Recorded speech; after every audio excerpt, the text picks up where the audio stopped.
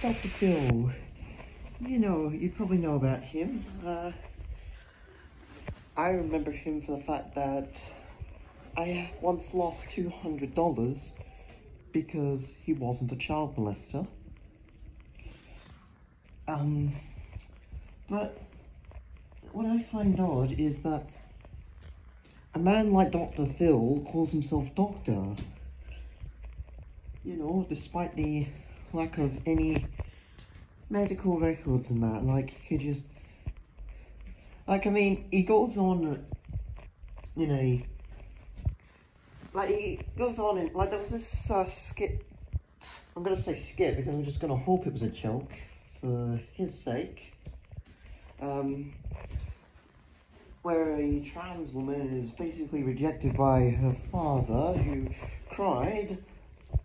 A lot of trans people were disgusted by this, not me, because seeing a trans woman cry just fills me with joy. Because uh, transphobic parents are all morons who I'd happily kill their firstborn in front of while forcing them to watch.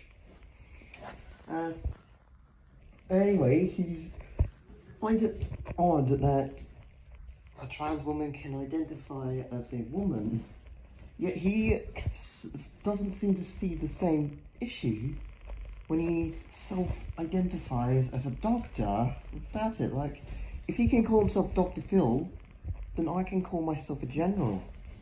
I'm General Daisy. Give me my fucking medal.